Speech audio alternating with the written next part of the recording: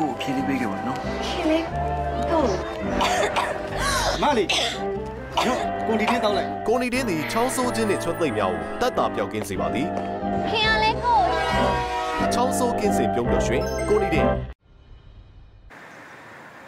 2020ရွေးကောက်ပွဲအတွက်စတင်မဲဆွယ်ခွင့်ရရှိတဲ့ဒီကနေ့မှာအစိုးရရုံးဆိုင်တဲ့နေပြည်တော်မှာတော့တိုက်ခံပြည်ခံပြိုးပါတီဘက်ကလှုပ်ရှားမှုတွေတိတ်မတွေ့ရသေးပါဘူး။ ပြည်ခံပြိုးဥက္ကဋ္ဌဦးတန်းထေးဝင်ပြိုင်မဲ့ဇေယျသီရိမြို့နယ်ရုံးရဲ့ဒီကနေ့မနက်ပိုင်းမြင်ကွင်းဟာတိတ်ဆိတ်၆ကက်နေသေးပါပဲ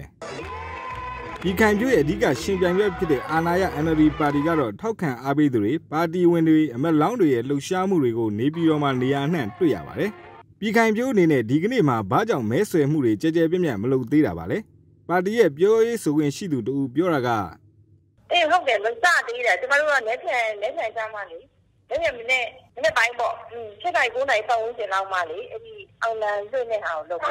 အော်ဟုတ်တယ်လုပ်ပါဒါပေမဲ့ဒီနေ့ကျတော့လေကျမတို့ကဘယ်ပြောမလဲ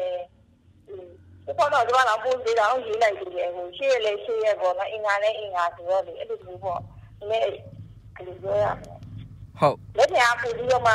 ရက်ကောင်းနေပေါ့ဗျာပြောမယ်ဆိုနောက်ခုကကျတော့နေပြီးတော့မှလေကျမတို့ကဒီဟာအခုတော့ဆိုယောဂပို့စစ်တဲ့လူတွေလည်းရှိနေတယ်လေဟုတ်နော် ဒီကောင်တို့ဘာလို့မှလည်းရှိတဲ့ခါကျတော့ကျွန်တော်တို့ပါတီလူတွေကိုတက်နိုင်ကိုလမ်းပေါ်မဖက်ဘူးတော့ဟောလောက်တာခရဦးတန်းထေးရဲ့ပြိုင်ပွဲလဲဖြစ်ပြီးမဲဆွယ်စည်းရုံးခွင့်စတဲ့ဒီကနေ့မှာစတင်နှုတ်ရှားနေတဲ့ NLD ပါတီဇေယျသီရိမြို့နယ်ပြည်သူ့လွှတ်တော်အမတ်လောင်းဒေါက်တာမိုးဆွေကတော့ကိုဗစ်ကာလမဲဆွယ်ရတာအခက်အခဲချို့ရှိတယ်လို့အခုလိုပြောပါတယ်နှစ်ချက်ပါပဲအဲကိုဘေးကြောင့်ဖြစ်တာရယ်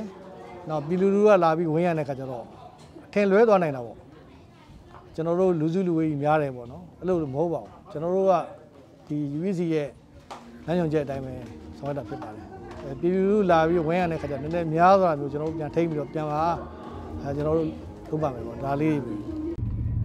ဒေါက်တာမိုးဆွေဝင်ပြိုင်ရတဲ့ဇေယျသီရိမြို့နယ်ဟာတက်မတော်ကာကွယ်ဦးစီးချုပ်ရုံးဆိုင်ရာနေရာလဲဖြစ်ပြီး2010မှာရော2015မှာပါပြည်ခိုင်ဖြုတ်ကအနိုင်ရတဲ့မဲဆန္ဒနယ်ဖြစ်ပါတယ်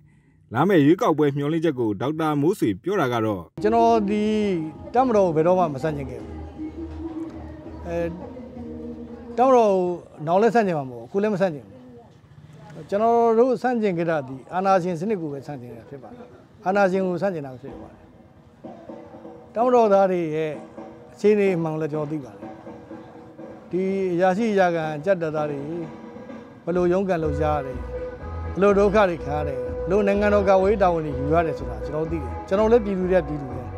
အခုလည်းပြည်သူရဲ့ကိုယ်စားလှယ်ဖြစ်ဖို့ပဲကျွန်တော်စူးစမ်းတာဖြစ်ပါတယ်